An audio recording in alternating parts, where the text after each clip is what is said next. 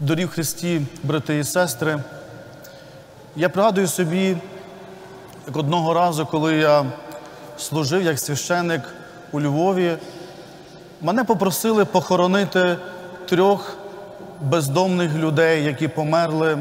І, звичайно, е, потрібно було, щоб хтось помолився над ними.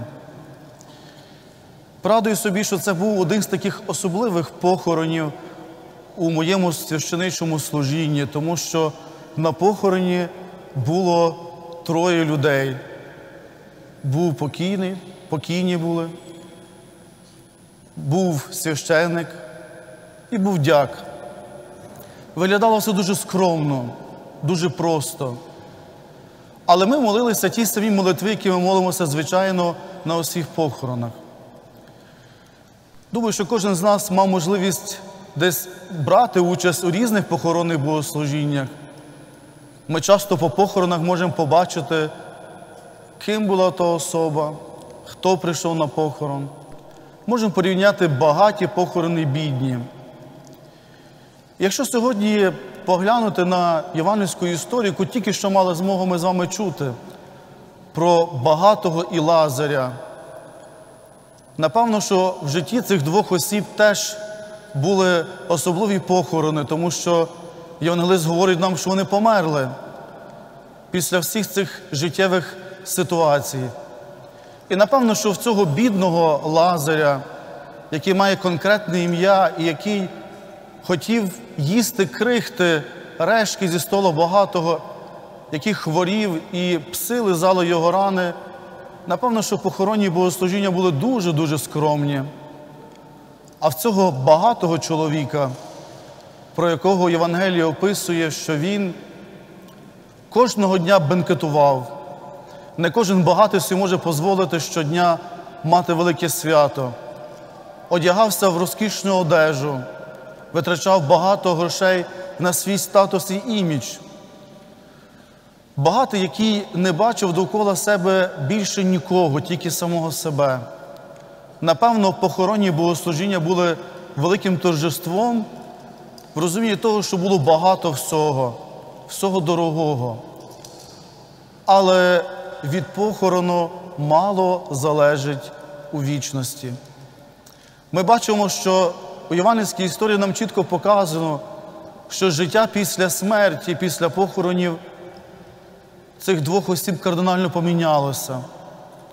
Ангели забрали душу бідного Лазаря і понесли його на лоно Авраама, вічний спочинок. А цей багач попав у ад, у місце муки і страждання. І що цікаво, що під час свого життя багатий чоловік ніколи не помічав цього бідного Лазаря. Він побачив його лишень там, у вічності. Після смерті він побачив цього бідного чоловіка, який здавався для нього чоловік без можливості, без сили, але там у вічності він побачив, що цей чоловік є з Богом і є у вічній радості. Євангельська історія не засуджує багатих людей чи тих людей, які у житті щось досягнули. Ви знаєте, навіть ця притча, вона так нам показана чи так представлена, що цей багатий чоловік не має ні прізвища, ні ім'я. Лише цей Лазар має чітке ім'я Лазар. Але цей багатий чоловік без прізвища ім'я є уособленням кожної людини, яка колись в житті щось досягає, щось має, чогось добивається, навіть маючи велике багатство, починає закриватися в своєму егоїзмі. Думає, що для того, щоб бути щасливим, достатньо лише жити для себе самого. І Євангеліє нам показує, що ця хвороба багатства, якою хворів цей багатий чоловік, була настільки глибока у його єстві, що навіть у вічності, коли він бачить цього бідного Лазаря у вічній радості, він просить Авраама, щоб той послав когось тільки до його дому, до його братів, і е, напівнув їх і навернув їх, сказав їм, що не може так жити. Він навіть у вічності думав лише про своє, про свій дім, про своє оточення, але не думав про всіх.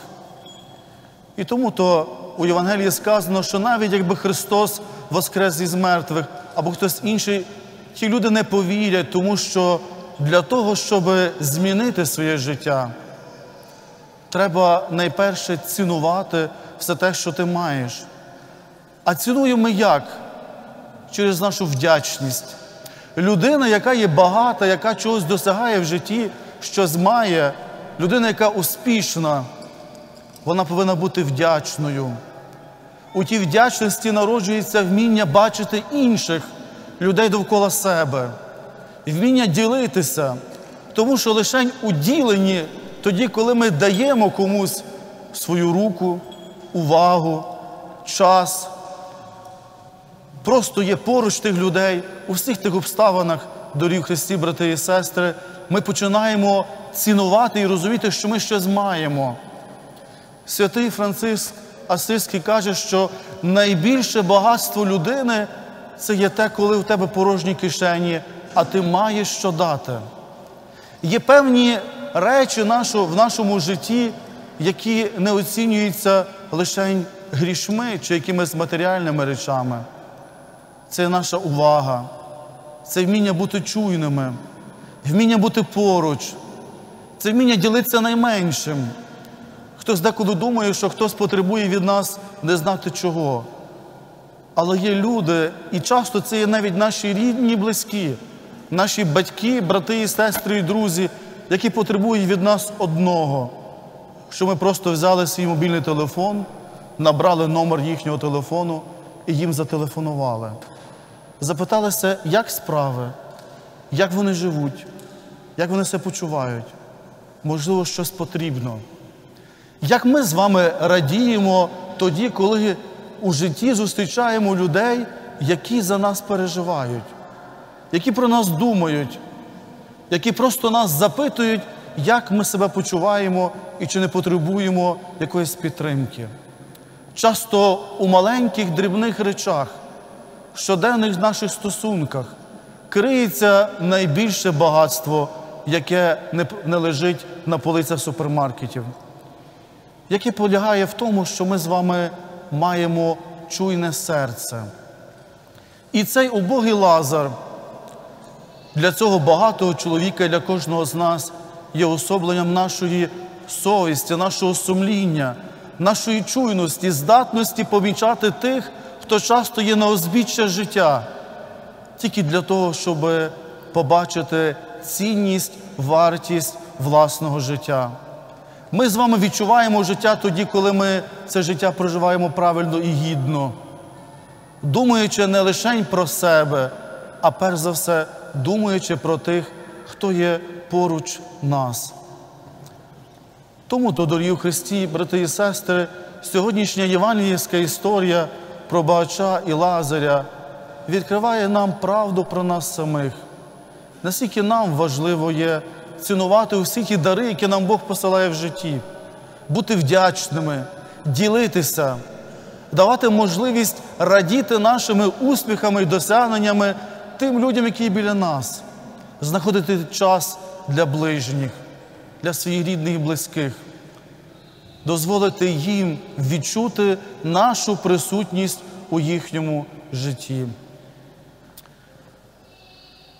Нехай Господь милосердний і добрий навчить нас бути щедрими. Нещодавно наша церква видала пастирське послання про убогість, про нашу здатність вміння помічати тих, хто сьогодні є на маргінесах суспільства.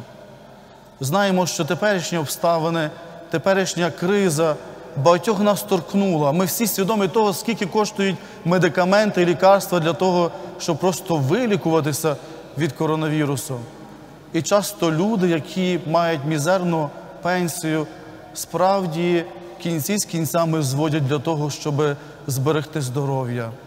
Сьогодні помолімося також за всіх тих, хто бореться, хто складає, можливо, копійку до копійки для того, щоб бути здоровим. Згадаймо тих, хто потребує нашої уваги. Стараймося бути співчутливими, чуйними. І вірю у те, що ті, які, можливо, мають щось більше, чогось більше досягнули, справді не побояться зробити все для того, щоб своїми успіхами ділитися з тими, хто потребує уваги. Нехай Господь усіх нас береже у своїй ласті, благодаті. Амінь. Ім'я Отця і Сина, Святого Духа. Амінь.